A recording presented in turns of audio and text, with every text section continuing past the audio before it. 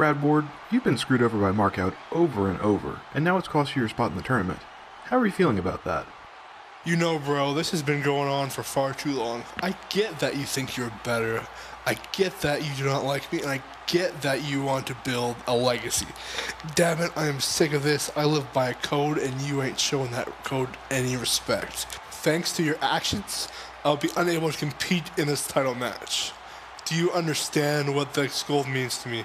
I have done everything for this company.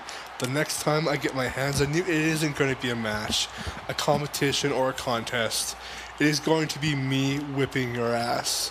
And you better be ready for the fight of your life.